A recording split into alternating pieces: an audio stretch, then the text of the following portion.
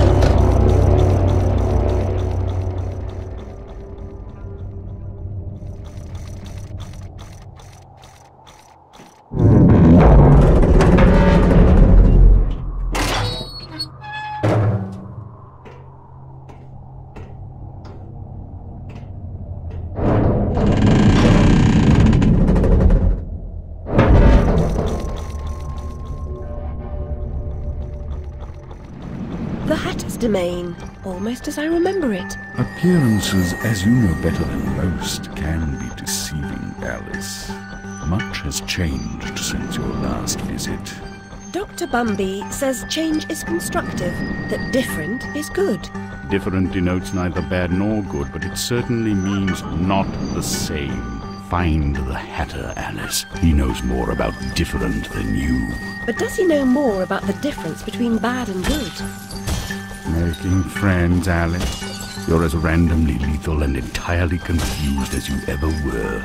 I've managed without you so far, Cat. Return to whatever hovels home to you. I'll call if I need you. Predictably rash. It's not a question of if, Alice, it's when. Now hold on, and as they say, shut up. So typical.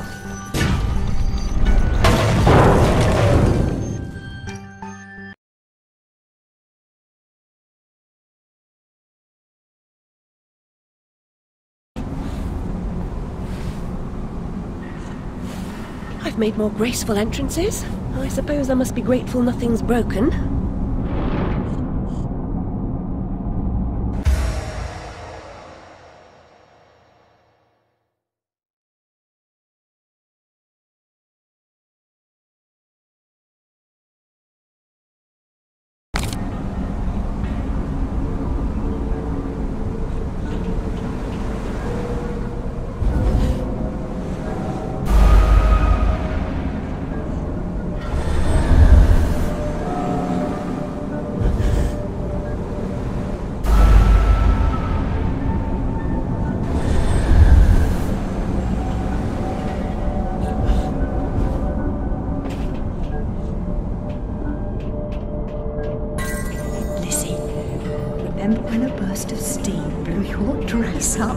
Around your neck?